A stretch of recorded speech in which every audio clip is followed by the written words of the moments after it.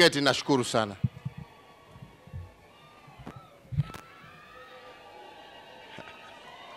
Asante. Thank you, thank you. Asante sana. Baba Askofu Michael, my other brothers and sisters, and indeed the entire Rubia family and fellow mourners. Mimi ningependa kwanza kuchukua fursa hii kwa niaba yangu, kwa niaba ya familia yangu na pia kwa niaba ya Wakenya wote kutuma rambirambi zetu kwa jamii yote ya marehemu baba wetu mzee Charles Rubia ambaye alituacha hivi majuzi. Tuko hapa na nakubaliana vile baba askofu amesema, kumwomboleza ndio, lakini pia kumsherehekea na kumshukuru Mungu kwa miaka hiyo yote ameweza kumpatia, miaka ambaye ameitumia kujenga taifa hili letu la Kenya, kusaidia wananchi wa jamhuri hii yetu ya Kenya bila kujifikiria mwenyewe. Akatolea maisha yake karibu yote kwa kuitumikia taifa na wananchi wa jamhuri ya Kenya. Twamshukuru Mwenyezi Mungu kwa maisha yake, na tuko hapa tukimwaga, tukikumbuka yale yote ambayo ametenda kwa taifa letu kwa muda huo ambaye Mwenyezi Mungu amempatia. Mimi sitaki kuongeza kwa sababu mengi yamesemwa, na sana sana tumesikia kutoka wazee wetu na pia kupitia yale ambaye baba askofu mwenyewe ametueleza, na mimi sitaki kuyarudia, lakini nataka kukumbusha tu yale ambaye tumeambiwa, ambaye ndio alikuwa mwelekeo ama vision ya mzee ambaye amelala. Mzee alipenda ya kwanza amani, alafu he loved justice and good social order. and he also loved hard work. If only half of us as Kenyans, not even half, 10%, emulated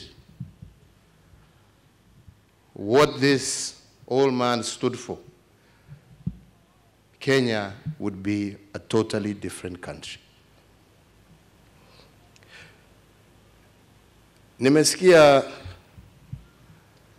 hata viongozi wakisema, unajua yeah, tunataka tusaidie serikali eh, serikali tutafanya, serikali tutafanya, mtatufanyia nini? Mtatufanyia nini? Wakati ya hawa wazee, na najua niko na mashahidi hapa, kati ya hawa wazee, wakati Murang'a County Council ilikuweko chini ya uongozi wa wazee kama hawa Murang'a County Council kila mwaka ilikuwa inatoa pesa kwa sababu walikuwa na pesa zaidi ya matumizi yao ambazo walikuwa wana invest na serikali ya kitaifa kule Nairobi. Sijui kama mnaelewa hiyo. besa hizo si siathire kuu zilienda wapi? Eh? Do it, we, hatupendi kujiuliza hii maswali, pesa hiyo ilienda wapi? kwa mifuko ya watu binafsi, kwa mifuko ya watu binafsi. Na ndipo nasema kama just 10% ya viongozi wetu tungekuwa tunaamuka na kulala na hizo fikiria za patriotism za kupenda nchi yako na za kujitolea kufanyia taifa letu la Kenya kazi, hii nchi ingekuwa nchi ingine. Na ningependa niseme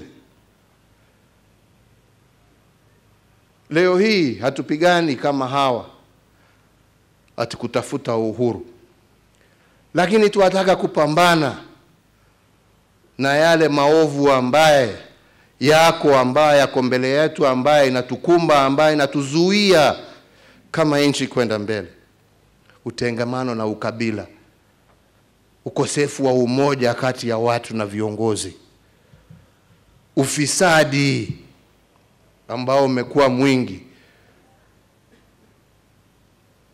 Mambo haya ndiyo sisi tungependa kushirikiana na Wakenya tupambane naye, kwa sababu tukipambana na haya, yes, tutabadilisha maisha ya Wakenya.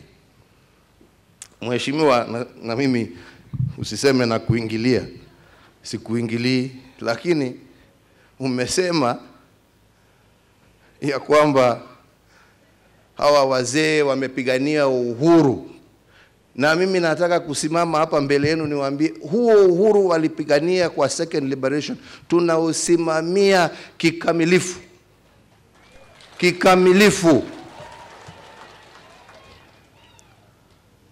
na hakuna mtu ambaye amezuiwa kusema yale anataka kusema, atembee barabara, apige duru zake, aseme hata nasikia wengine wanatoka wanataka sasa kupanda ndege warudi waanze kusepa, waendelee. Hiyo ndio uhuru yao. Lakini ombi langu kwa hawa ambao wanatafuta hii uhuru na ambao wako naye, jameni, tumieni huo uhuru kueneza amani na umoja kati ya Wakenya. Tumieni huo uhuru kueneza na kupambana na vita kati ya ufisadi. Tumieni huo uhuru kutafuta justice.